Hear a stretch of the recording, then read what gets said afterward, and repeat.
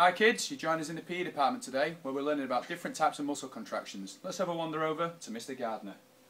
Hey guys, just doing some press ups down here. This is an example of an isotonic contraction. This is where your muscles are changing length, as you see when I was doing the press ups. So remember, isotonic means moving around all the time. Follow me now as we go oh, see Miss Fletcher. She'll be doing a different type of muscle contraction.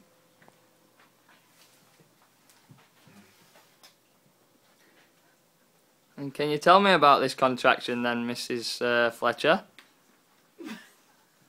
This is an isometric contraction, kids. This is where the muscles stay the same length. As you can see, Miss Fletcher's quads and hamstrings are the same length, however they are working to keep her upright against the wall. You can see her biceps and triceps are exactly the same length as she holds the big sports book out in front of her. That's all for this week in the PE office. Catch you soon.